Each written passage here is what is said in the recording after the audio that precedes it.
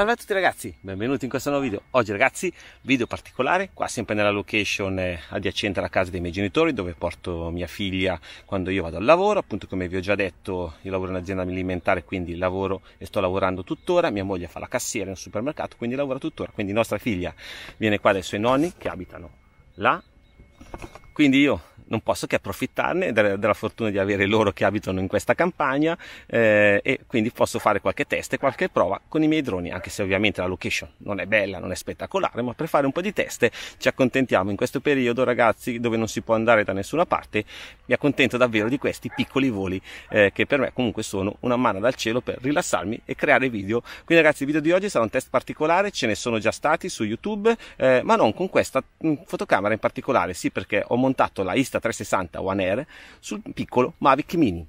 Eh, quindi vedete montata la telecamera sopra Mavic Mini e sono già state montate le Insta360 One X ma con la One Air non ho ancora visto nessuno quindi probabilmente sono il primo o uno dei primi credo eh, non che la cosa cambi tanto ma avremo comunque un video 360 di questa One Air l'ultima nata di casa Insta360 la telecamera componibile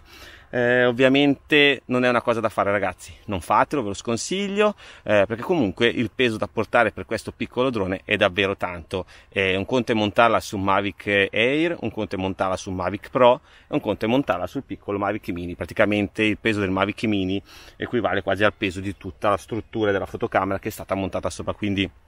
è veramente al limite, eh, uscirà sicuramente la scritta peso carico massimo, eh, uscirà sicuramente perché il peso è davvero tanto, però ci tengo lo stesso a fare questa prova, questo test per vedere eh, a 360 gradi dal piccolo Mavic Mini e vedere il piccolo Mavic Mini inquadrato dal sopra, eh, quindi un'inquadratura, una prospettiva particolare e soprattutto con una telecamera eh, totalmente nuova e soprattutto innovativa. Quindi ragazzi non perdiamo il tuo tempo e decolliamo con Insta360 One Air e DJI Mavic Mini.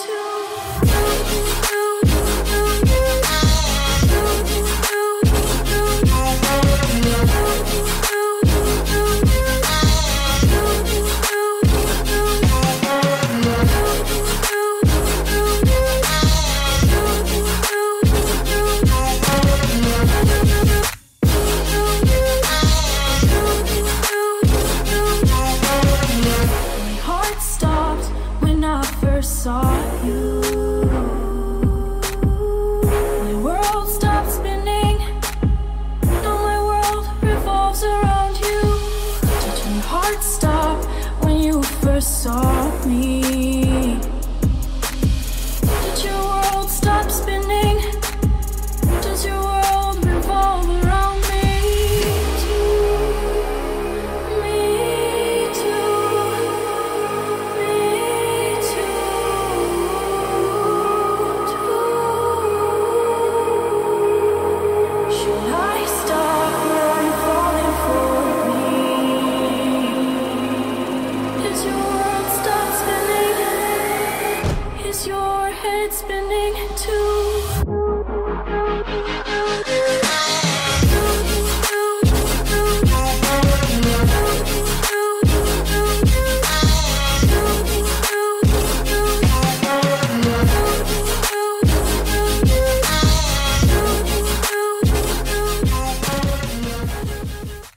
ragazzi, il Mavic Mini e la Insta360 One Air sono tornati, tutto sano e salvo, eh, come sospettavo, come immaginavo, è uscita la scritta carico massimo perché comunque il peso da trasportare per questo Mavic Mini è davvero tanto e non è una cosa facile per lui portare tutto questo peso e lo posso anche capire. La prossima volta sicuramente la monterò su un drone un po' più importante che non ha problemi a trasportare peso, tipo un Fimi X8 o eh, su un Autelivo che praticamente sono in grado di portare pesi assurdi perché comunque sono droni molto pesanti con prestazioni motori che spingono davvero tanto. E non come qua dove il peso eh, sopra il Mavic Mini è forse maggiore del peso del Mavic Mini. Quindi è stato solo un volo test un volo prova perché ci tenevo a fare questo test per vedere il Mavic Mini eh, con una prospettiva diversa. Quindi ragazzi se questo test che non vi consiglio assolutamente di fare e non fatelo di montare eh, una camera 360 sopra il Mavic Mini vi è piaciuto lasciate un grosso pollice su iscrivetevi al canale Telegram Offerti se non avete ancora fatto e se vi va e ovviamente ragazzi iscrivetevi a questo canale YouTube per non perdervi neanche un video, un volo, recensione, un test, un tutorial, una novità. Ciao!